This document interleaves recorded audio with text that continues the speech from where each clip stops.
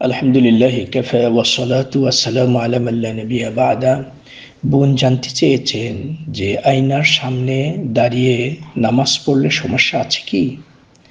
আকুলু আবিল্লাহি তৌফিক। সলাৎ একটি গুরুত্বপূর্ণ ইবাদত। এই ইবাদতের সার এবং নির্যাস বলা হয়ে থাকে খুদু এবং খুশু। লুব্বুসালাহ আল খুদু ওয়াল খুশু। বিনয় নম্রতা, একাগ্র চিত্রে খুজু খুশুর সাথে সলাত আদায় করা, এটি কিন্তু মতলুব।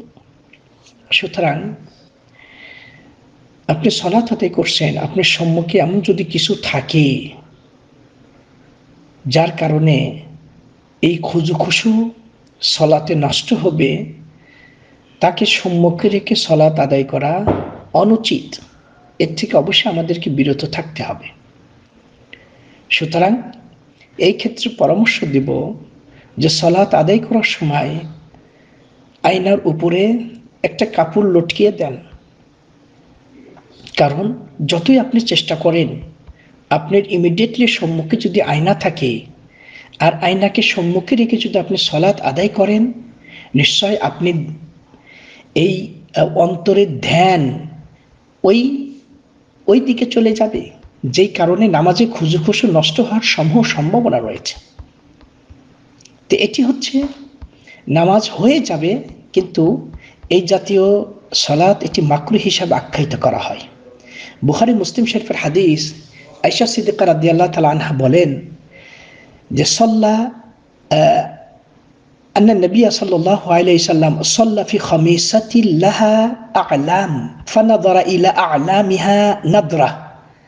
فلما انصرف قال اذهبوا بخميسة هذه إلى أبي جهم একদা রসুল আকরম সাল্লাহ আলী ওসাল্লাম এই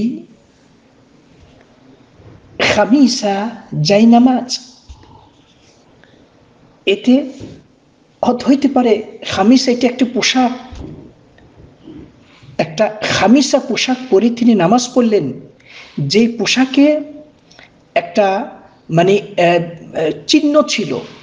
সেটি হইতে পারে কোনো পতাকা, যে সেটি হতে পারে কোনো একটা মানে মানে মানে ছবি জাতীয় নিশ্চয়, এটা প্রাণের ছবি নয় বটে।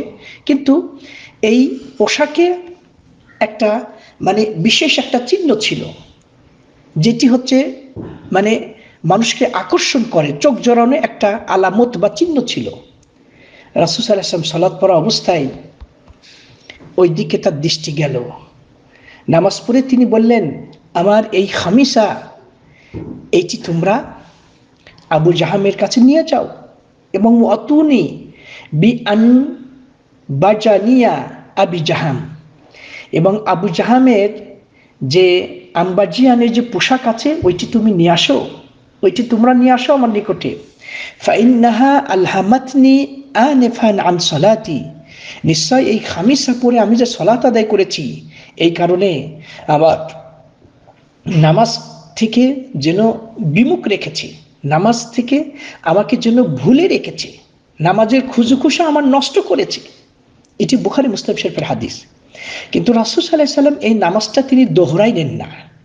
তো এর দ্বারা নামাজ হয়ে যাবে, কিন্তু নামাজটা মাকরু হবে এবং নামাজের যে মেন পয়েন্ট খুজু খুশু যেটা কবুল হওয়ার অন্যতম একটি মানে পয়েন্ট সেটি কিন্তু বিঘ্ন ঘটবে। তো এটা ইমাম নবী রহিমাহুল্লাহ সহ